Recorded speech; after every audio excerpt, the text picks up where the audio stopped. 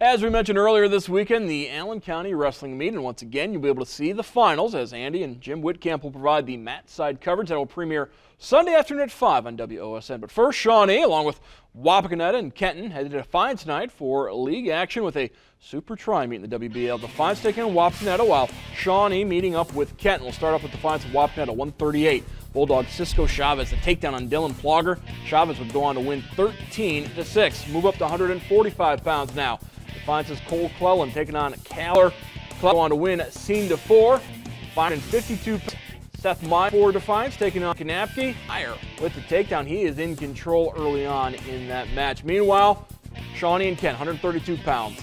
Colin Hannon pins Garrett Smith in the first period. So Shawnee with a 12-0 advantage. Move up to 152 pounds. Chandler Colhorst takes the lead on Dustin Elder. Colhorst would go on to pin Elder. Finally, 170 pounds. Great match between Cade Flynn and Jeremy Contreras. Flynn grabbing the early 2-0 lead, but later in the match, Contreras gets the takedown, reclaims the lead 6-5, but Flynn would win on a last-second takedown 7-6 as Shawnee and Wapakoneta, Defiance, and Kenton engage in a super tri, which we are still awaiting final results from.